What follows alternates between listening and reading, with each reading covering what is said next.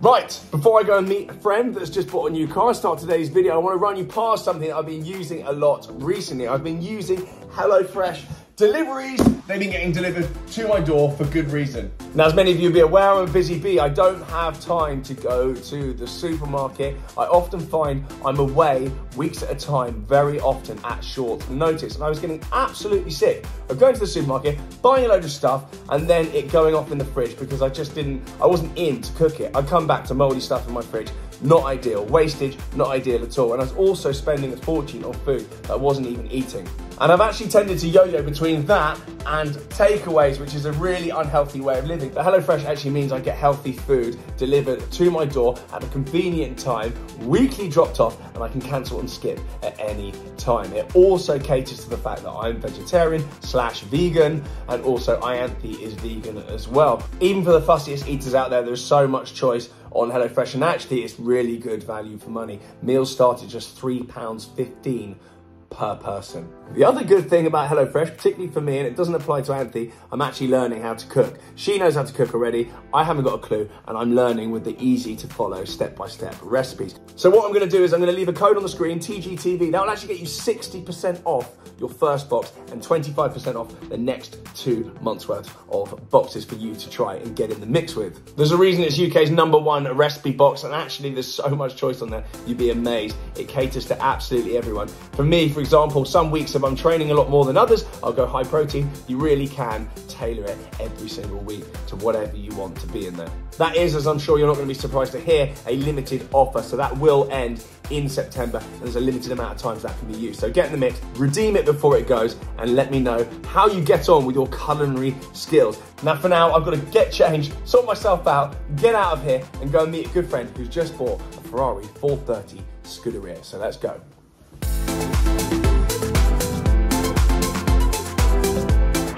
Hello, you horrible lot, and welcome back to TGE TV. More specifically, ladies and gentlemen, I've got my gum guards in again, an unpleasant start to today's video. Once again, I'm obsessed with my Invisalign. Today, however, more excitingly than my ongoing Invisalign, is this 430 Scuderia, because my friend, as the title suggests, has bought a 430 Scuderia. He is a familiar face on the channel. He is a familiar face on the car scene, on YouTube. He's a. He's just run past me. You were too fast. You need to come back.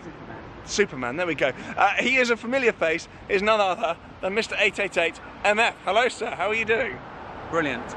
Brilliant. We're you... back in YouTube Square. We're back on YouTube Square. The last I can time of... we were here was with my 4 litre and your 991 GT3 RS. I'm sure I've seen you more recently. That was literally no, that's last, last time we came to YouTube Square to do a, a, video with two cars. There we go, and we've, we've come home to roost because what a place to film videos in the middle of a busy square in London. What a place to film a lightweight Ferrari, Mark. Yes, well, yeah. we're on a budget. Welcome to my channel, everyone. I just put no effort in whatsoever. Marky, we're going to do a little interview here because you're a man of substantial car history. Yes. And this car came around as a result of another one leaving the stable. Yes, the four litre. The one four litre. Four litres. You had two four litres. Yeah. I think we should, I think first, Mark, would you like to take us around the car and explain all about this car? Not all about it. We don't have all day, but you know the main. I don't know much about it. Fine. I did used that's to have good. a Stradale. Yeah. You went in two nights before it was smashed up. Yeah, by yeah. me. Not I got annoyed and baseball batted it. Yeah, I do, and a taxi hit it. Taxi hit it. So I, I took you out on Sloane Street.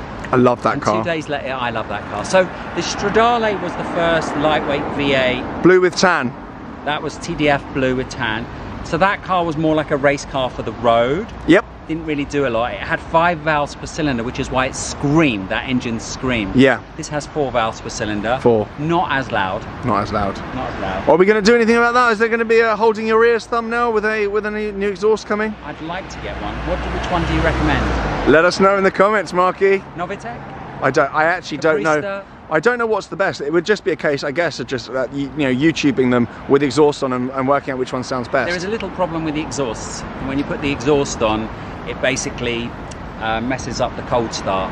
So oh. The mixture at the beginning when you turn on the engine, it's not brilliant for the car, and warning lights come on. So, but it, it is a little bit quiet, especially compared to a Challenge Ferrari. But this one but, was yes. designed when Michael Schumacher was at Ferrari. Yes and so it drives better than a Stradale. The yes. gear changes quicker than a Stradale. Uh, it still has the ceramic brakes. Wonderful. It, I must admit, it looks amazing. So you got rid of a black four litre for this car. Left-hand drive, black GT3 RS 4 litre for a right-hand drive 480 Scuderia. Yes. I think that's a very good deal. And you got cash. Got cash in between. You left with a, a substantial chunk of I cash. don't know what substantial is to you. Uh, two quid at the moment. uh, a, a decent wallop Yeah, of cash. I did, a- I did a and deal this. with uh, Amari Supercars. They did a part exchange deal, and um, they gave me some cash. So, Here we go. what do you want to know? I don't really. I don't really know what I want to know, Marky. It's a stripped out Ferrari. Yes. The, the best part about this car is this. Okay. Check out this engine. Look at this. Look at this. woo. That- that's what you call an engine, all Oh. covered in carbon fibre. Dare I say this is from an era where Ferraris were cool? Can I say that? I. Can I know, say A lot of people think the 458 Speciale is cooler, but the Speciale has evolved to the dual clutch gearbox, Yes. which I personally feel like a lot of dual clutches feel like automatics. Yep. They don't give you any kind of feeling of changing gears. No, you're right. Um, I've been in a 458 Speciale recently. My friend Ellie's got one. I've driven lots of them. This is RORA, Yeah. which means you don't want to use it as often. Yeah. On those occasions when you do take it out, it rewards more. Yeah, I've heard. I've heard that these actually they're quite visceral and they do feel very, very Well, special. you're going to drive it in a moment. So I'm going to drive us. it at Yeah. 15 miles an hour around London. What a channel this is, Mark. Uh, so this is obviously the standard exhaust. What's cool when you replace the exhaust, you actually can see it right here. It's nice if you. If I want to polish this up. Yeah, I wouldn't touch it now. So this is the. Uh, this is only like I've only had it three or four times out, so I haven't cleaned it yet. It hasn't been to NVM for detail, but the NVN. seats are really, really, really beautiful, and it's got this painted stripe, which is beautiful. Painted stripe, not stickers, and you've got carbon absolutely everywhere. This is a little bit lash, this bit. I like that. I like that a lot. Oh, I like the It's a very cool car, Mark. I love it. I actually love it. Um, should we go for a little spinaroo then? Do you want to fire up very quickly and we'll listen to her here and then we'll get out of here before we get an £80 fine for being antisocial. Here we go.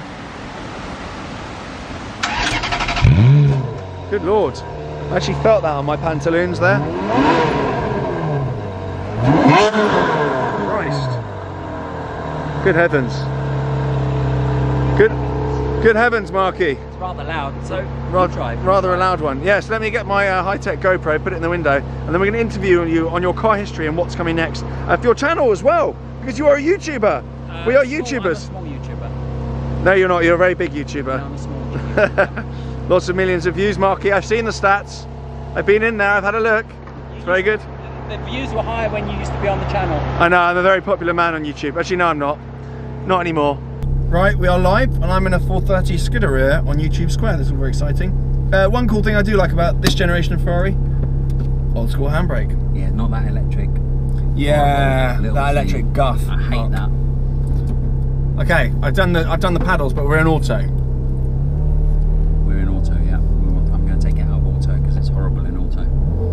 Is there a- You're clear. You're clear. Go, go, go, go, It's go. the front of your car if I'm not. and you're clear. yeah, so the, this is still a s- semi-automatic F1, so it's quite slow. the smooth. gearbox. It's faster than a Stradale, but it's still a little bit slow. Have you So- driven e-gear before? What's e-gear? Uh, the Lambo sort of automated manual, basically. No. Oh, you mean like on the Gallardos? Yeah.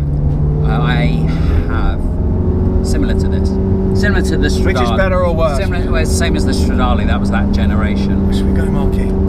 This is okay. You Where should we go? I'm happy. Yeah, you're a great driver. I am, aren't I? How many Ferraris have you got? I've only got one. Testarossa? Yeah, just the Testarossa. Sold your F12? I did sell it, yeah. The market bounced back up on it, and I thought, do you know what?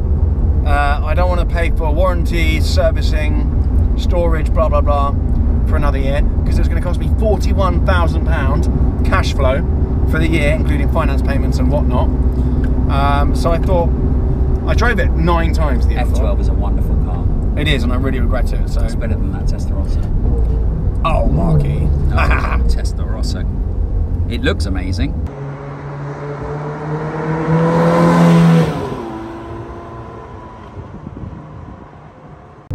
Very, very old. yeah, you actually know that car. You've I- been in it. I do know the uh, ex-owner, yes, and I did a stop, and I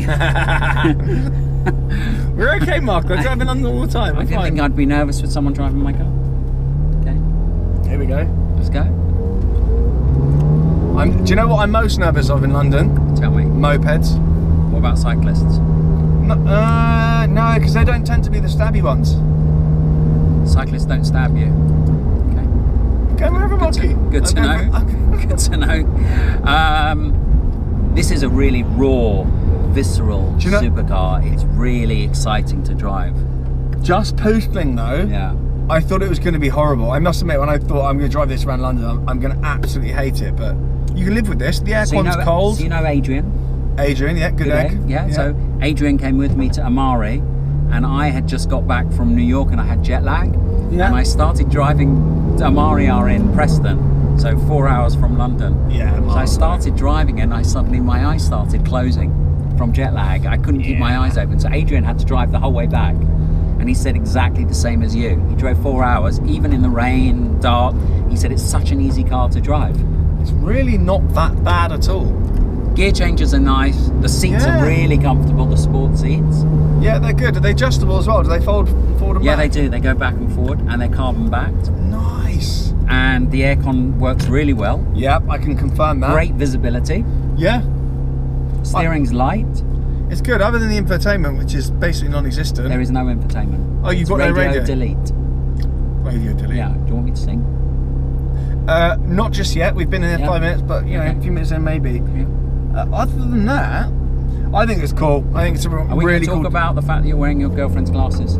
Yeah, six ninety nine from H and M if anyone wants them. I'll leave a link on my uh, on my Instagram that makes me money. She's cool. She is cool. I'm Go, not. go follow her on Instagram. Well, no. She's cool, so you're cool. Yes. Are we going to get it above? We're not because we're in town market and I work with Oh. blue chip brands and we're not to be seen speeding in built up areas. There are other channels for that, but we remain. Triple eight MF. I mean, I, I wouldn't. No, I, I didn't mean you. I definitely didn't mean you. If you if you want, no, I'm going to get myself in trouble. I'm going to keep my mouth shut. It's very nice, isn't it? I'm very happy in here, and actually, it's not very crashy. This is a horrible piece of road. Oh, you've got the uh, soft suspension setting. Oh, have you got bumpy road even Yeah, in this? there, look. It's got bumpy road setting. Bumpy road setting. I love this car. Yeah. That's my favourite thing about modern Ferraris, bumpy road setting, because I got I don't back. think it works as well in this as something like an F12. Because it's set up like a race car, right? So I I'm really happy in here. I want one of these. So let's talk money then. How Yeah. much for a good one? How much for a ropey one? And this is a good one, is it not? This is low miles, yeah, right this hand is drive, done- clean, is yada yada yada. Just under 13,000 miles, so fairly low mileage. You've got to remember, I think, you know, you want to buy cars that have been driven. yeah. You don't want to buy a car that's just been sitting in a garage. No, particularly true of this kind of modern classic era. There's quite a lot to go wrong on them, um, and things do perish if they just sit about. My Challenge Stradale was in the garage for six months. I took it out, drove it for like an hour, and the actuator broke on the gearbox. So, Perfect. you know, do stuck on the motorway with all the gearbox oil coming out the bottom of the car. So you have to drive. You have to drive them. You have to drive them. So uh, this is a 2008 model. Oh, okay. So I think you want something with at least a thousand miles a year on it, right? Yeah, yeah, absolutely. I think Um, so they a ropey one, well, a high mileage one, I think is about 180, 185. Okay. and you're looking at around 220 for a low mileage one from a Ferrari dealer, and then Okay. everything in between. So quite a spread. That doesn't strike me as too bad at all. Well, I tell you what's ridiculous. The 458 Speciales are 315 to 400. I mean, Yeah. And they, they did go down to sort of mid Two- 200s. They went to about 270 when they were down. But I mean, if you want a low mileage, the equivalent car, like a 13,000 mile 458 Speciale, would cost you around 315, 320. Is there a hundred thousand pounds? Are they a hundred thousand pound better? Let's talk production numbers then. Oh, I I'm presuming I'm presuming this is a much rarer car. I'm sure someone out there will know. That's not the place you go if you've got a moped. You don't overtake on the left, ladies and gentlemen. No inside overtaking. No, absolutely not. That's how you end up uh, squeezed against the curb and going under the wheels of buses. So I, I suspect I actually don't know how many they I think there are less Stradales and Scuderias than there are Speciales. Speciales they made a lot, and I was actually told I by think they someone. made around 2,000 Speciales. Is Oh, I it thought it was more than that. More? was- yeah, I thought it was a few thousand. I, I heard from someone, and I don't know whether this is nonsense. There's roughly the same amount of F12s in the UK as there are Speciales, like built for the UK. That's a lot. And it's yeah, three to four hundred. It's quite a lot. So I just drove to uh, an event on Sunday in Zencar Drivers uh, 812 GTS. I'd love one of them. They're so nice. I'd love one of them. I'm just too poor. They're 430,000 Yeah, pounds. Stupid. And I could have ordered one brand new, and I didn't. Well, list said, price is "No." 380, 390. Yeah. I would have optioned it with nothing. But when you look at an 812 Superfast, Hmm. they're still below 300. It's actually good value as well. It is, it is. But again, they dropped. They dropped at the same time as my F12 did. So my cost to change is still the same as it always was. I mean, what I would say about this car, like I said before, I think this is a really exciting car to drive. Let's go down Sloane Street, shall we? Yeah. It's a very exciting car to drive, but not definitely not as a daily driver, not for regular use. I actually don't think this is a headache. At actually think- Lamborghini. Wow, What? yeah, Oh, sick, bruv. that is that is nuts. I think it's actually a mandatory one. That's chaos.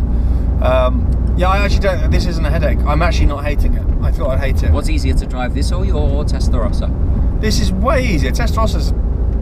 What's easier to drive, this or F12, or the same? Uh, F12 is probably slightly easier. The steering on it is just so you know Lighter. so light. And you got the double clutch. and you got the dual clutch. But actually, there's not much in it. F12 's such a lovely car. It is, but I just do you know what? After a while, you do get a little bit frustrated by the fact that you will never be able to exploit that car. Oh, I've exploited them. I was in Dubai in one. I drove Warm 10 hours roads, in one. warm tyres, seven lanes, fine. But in the UK, UK, you deserve a to medal. exploit anything. if you if you've got 100% out of an F12 on the public roads in the UK, You actually have to You- drive that car hard to enjoy it. you, you're risking it's got prison. active aero, and the aero only works above 70 or 80 miles an hour. Yep. You actually have to drive it hard to really understand what a great car it is. So, I'm going to ask you a question. Yep.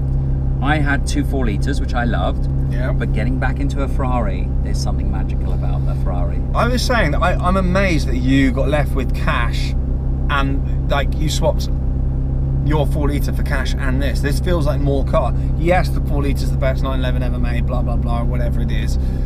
But I don't feel like this is less car. It feels like almost twice the car. I feel you're getting a full, basically, full carbon clad, lightweight Ferrari racing car over and above a very good 911. But It's a very, it's a, very, it's a very special car. This. There is Hmm. some. I love Porsches, and I think they're better built. And the engine in the four liter is a masterpiece. But there's something special about Ferraris. They're can- magical. Can you done a, a three? No, maybe not. But you could nearly do a 3.8 997 RS and one of these for the price of a toppy four liter. Left-hand drive four liters are around 300 to 350. Right-hand drives are 500 and above now for a right-hand drive four liter. That's crazy. Yeah. It's absolutely crazy. And yours was a lefty. But when you think about the difference between a right-hand drive four liter and a right-hand drive Scuderia, that's a 300,000 pound difference. But they made only 29 right-hand drives. I think you've made a very good trade with this car. I think you've done a very a very good deal, and I think that this generation of you know the mid 2000s kind of legendary cars, and your Well, limited. for you to call me and say you want to feature it on your channel is something. I, mean, I just, yeah, I just, volumes. I just car, wanted to right? see you, Mark. That was it. Yeah. Nothing to do with the car. No, I, this is my kind of era of car. I've decided, you know, the mid 2000s to, you know, 2011, 2012. I think that is a really cool era, and the people that lust over those cars will come into the, the money and the retirement age over the in the coming years, and these will all skyrocket because it's still a new car. I, I, I agree in, with everything you just said. This is this is uh, this car is a different era to what they brought out after this, especially after the 458 Speciale and they put the turbo into the Pista. It's a completely different car, the Pista. And I've driven a Pista across Portugal And uh, Pista's good, but it's not this. the Pista did not excite me. I get It's- more fun driving this around Sloane Street than I did driving a Pista across Portugal. I mean, the Pista's just fast for the sake of being fast. It's I just love it. fast. Yeah. And the problem with a car that's just fast is the fact that to have any kind of experience, you have to drive fast, like really fast. Yep. And I think that's the way cars have gone after this. That number plate, there was a Rolls Royce there, number plate 1R. No way. What? Yeah, 1R. Look behind you. 1R. Oh, good lord. People really do have more money than God sometimes. don't That's they? that's ridiculously expensive. That number plate. This is just cool as well. And the other thing about production numbers, obviously, these cars from this era, 2008, obviously, who was buying a lightweight Ferrari in 2008? Very few people was the answer. Well, Marky Mark. for the people that watch your channel, maybe you should tell them what happened in 2008. Mate, I've got an old audience. There, there is literally, I'm, I'm the same age as the majority of my audience. Okay. And I'm older than a lot of people think. I had Botox recently. How old are you? We're not going to go into that, but I'm sure I've carbon dated myself a few times. I met you this. when you were 27, I think. Yeah, exactly. And I met you ages ago. So I had Botox But you look recently. younger now because you took off that big beard. Big You beard, that big beard. bit of Botox. I'm getting Did you really have Botox? yeah the other day. It's amazing. forehead? It's amazing. It's still it's still working. It's still coming in. Hold on, camera's falling off. What a channel this is, everyone. How's how's my hand looking? Um, yeah, I got Botox. It's amazing. Great. You should do it. No. it's fantastic. Thank you. Honestly, just a little bit, not too much. needles. No, you, you, don't, you just don't look at them. It's fine. Your face will just hurt a little bit. Where's the needle going? To your forehead? Wherever you want, mate. Yeah. They can stick it wherever you want. Excellent. But they will advise you, obviously. Yeah. Uh, use a lady called uh, Sophie Schotter. She's like award winning. Yeah, she's fantastic. Big up Is Sophie. she on Instagram? She is. She's definitely not watching this though. I think she's got very much interest in her. Sounds like a GoPro. Yeah, so that doesn't tell you how far you've got behind you. It just tells you in reverse. You're in reverse. That noise. We should get this and the Murcielago together because they're kind of roughly same era cars. Murcielago. I've got a manual Murcielago Marky. I'm gonna go in that. Mm-hmm. There we go. Well, that was fantastic. Thank you very much. Neutral, both paddles, and engine off. And engine off. Beautiful. Well, what do you think? Have I ruined something? No, what do you think? I loved it. I was actually a lot more civilized than I thought. Obviously, that was just a drive around town. So at some point, it would be cool to get these out on open roads. We should definitely do some open road proper content. But I just wanted to get to grips with this. Your have a little chat you. Murcielago and this would be quite nice together on an open road. Yeah, my Murcielago, I think, is uh, late 2006. So it's around this era. It's manual. This is kind of a little bit like a manual. All right. Thank you very much. I appreciate it. Nice having you on the channel. Uh, Mark is on YouTube. He produces his videos properly. It's got high level production uh, quality to it. And like the dross you've just seen. Uh, the views views are of no relevance. These High days. views, low production, high production, low views. It doesn't matter how many are there. If they're the right people, it's good. Mm. Okay. Well, lovely to be on your channel. No, thank you very much. We Thanks for letting me your to car. uh, taking it for a proper spin. Yep, and if there's an advert at the beginning of this video or after me talking now, then please do click the link. The link will be in the pinned comment. Every single click does really help. So even if you open it and you open it in a new window and watch the video, uh, that does really, really help. Trust me, more than you think. Adverts, Mark. Adverts, the way forward. Botox, Botox and women's adverts. sunglasses, and Botox. And five ninety nine. Well, they've just they've gone down two quid during the video, but yeah, five ninety nine, seven ninety nine. Don't know what they were. H and M, sick. I think you get loads of views because you've got dogs on your channel. Yep. Yeah, that's not making the edit. I get to I get to edit it. So, all right, see you later, guys. Before I get myself in trouble. Bye.